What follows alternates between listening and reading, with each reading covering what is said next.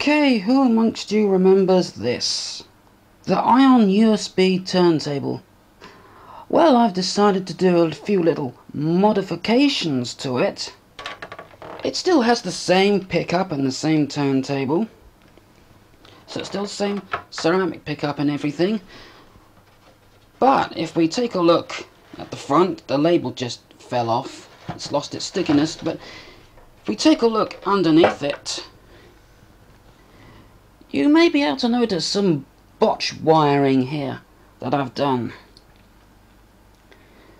And this is the little modification that I've made to it. Now I don't know if I did a video of this before, but in an earlier video that I don't know if I did a video of it or not, I actually um, tapped the original preamp board that this had and attached uh, RCA output jacks to it and also an external power wire. Well, I've gone a bit further with this and just completely removed that board and put in my own preamp.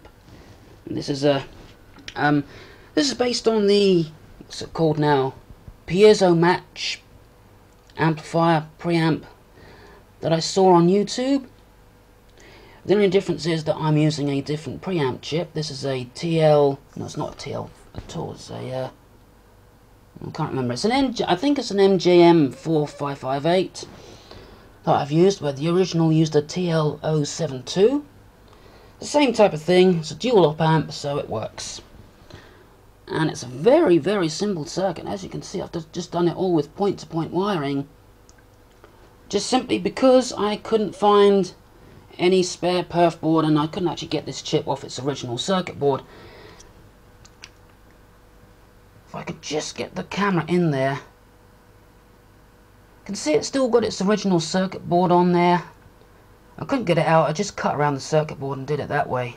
And my camera battery's running out and I only just charged it. Anyway, for those of you interested, this is the circuit. It's basically the piezo match or piezo match circuit. I've only drawn one channel in here. For those of you who want to see the full circuit, I will put a link to the um, video that this circuit is, you know, based on.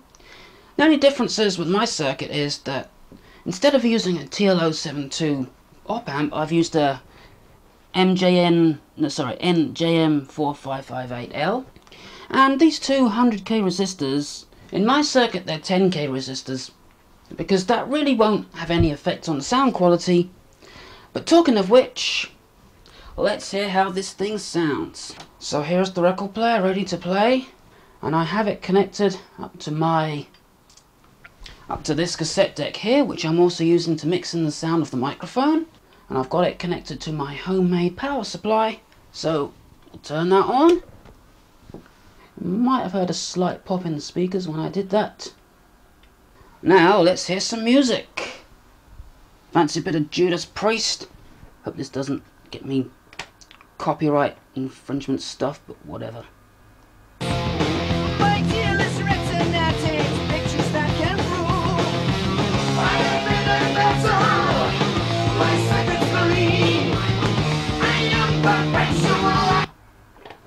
Alright, I'm not going to play any more of that just in case.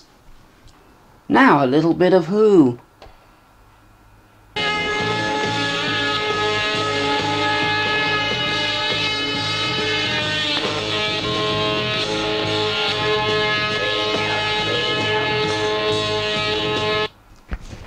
Now a little bit of Steeleye Span. Unfortunately, I dropped this record just a moment ago and now it's got a great big scratch in it, which I'm not very happy about, but at least it wasn't on one of the very was on one of the songs I actually liked, so that's okay. Okay,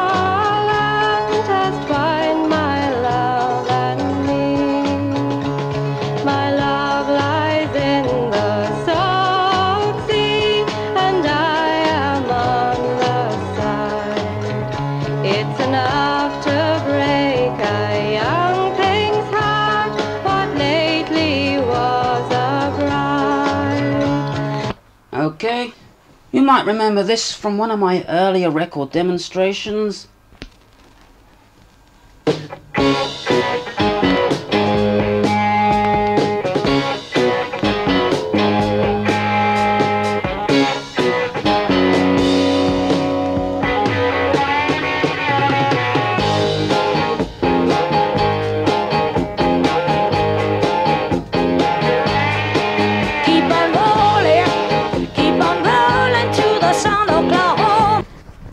Finally, I thought I'd throw in some classical music for good measure, and unfortunately this record is not in the best condition. You can't even hear the quiet parts over the scratches. So I'll play one of the loud parts, and unfortunately it's so old it's not even in stereo, but whatever.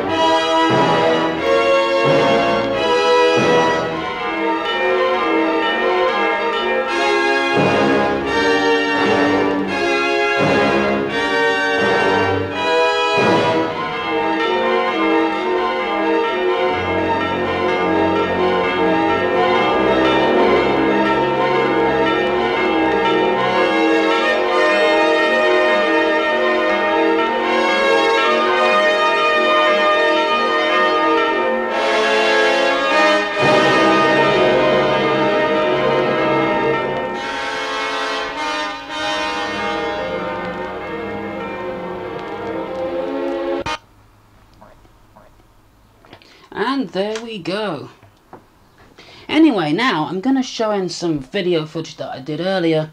This was actually going to be part of another YouTube video that I never bothered to upload because I just did it so terribly, but in the next few clips, well the next three clips, we're going to see, we're going to hear a proper magnetic pickup with a magnetic cartridge amplifier. Then we're going to hear the sound from this with its original preamp still in and the output tapped directly from its original preamp. And then this with the preamp that I made for it while it was still while I was still working on it. So let's have that and uh, I guess that'll be it for then. We're going to do a little experiment. Now I'm going to play this record, only a little tiny bit of it. This is probably about one of the only records I have that won't get me into any copyright, well don't think it will get into any copyright issues. And I have it playing through my homemade amplifier, which has the uh, record player preamp in it. And it's going into this, and then along this wire, and into the computer. Which is still recording actually, for some reason. I don't remember leaving that recording. Anyway, I'll start that making a new recording, and I'll play the record. And I'll patch in the sound so we can compare the sounds of the record players. Right, so this is magnetic cartridge.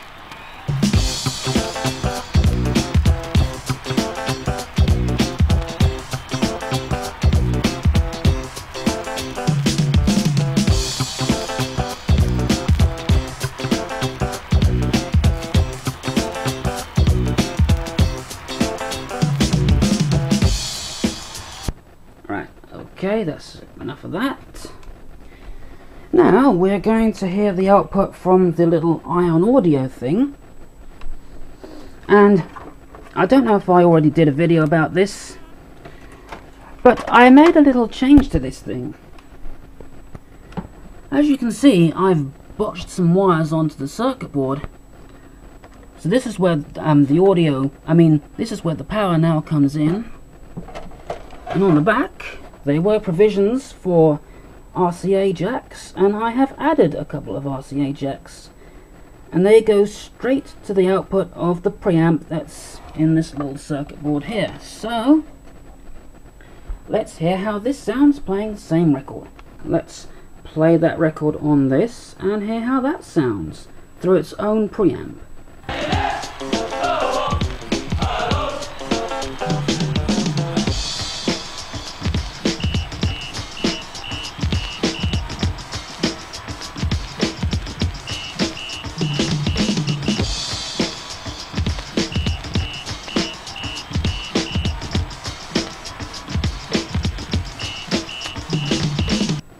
Okay, that should be enough.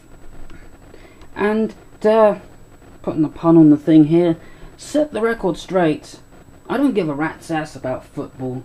Okay, well just before I take the circuit board out and replace it with my own experimental preamp, I just thought I'd show you what I've done. Now, you can see two transistors, well, you would be able to see them if the stupid camera, there we go. You can see these two transistors here. This is the entire preamp for the thing. Just those two little transistors there. I've soldered the wires onto those two transistors and they go to these phono jacks that I've added right there. And this is the power wire. As you can see it is just simply soldered onto where the power goes in on that little bit right there. But anyway, I can remove this circuit and let's replace this with my preamp. Okay, now it is the moment of truth. I have done some surgery on this. You might be able to see that the guts are now all gone. Or you would be able to if I was pointing the camera at it. So the output of the cartridge is now connected directly to this little preamp circuit that I made. Let's see if the sound quality is any better.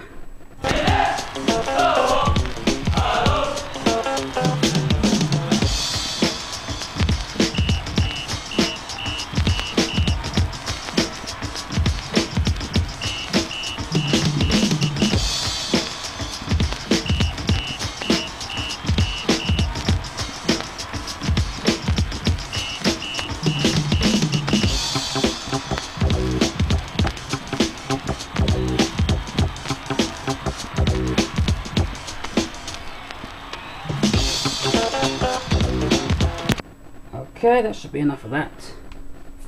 Right, let's compare those results.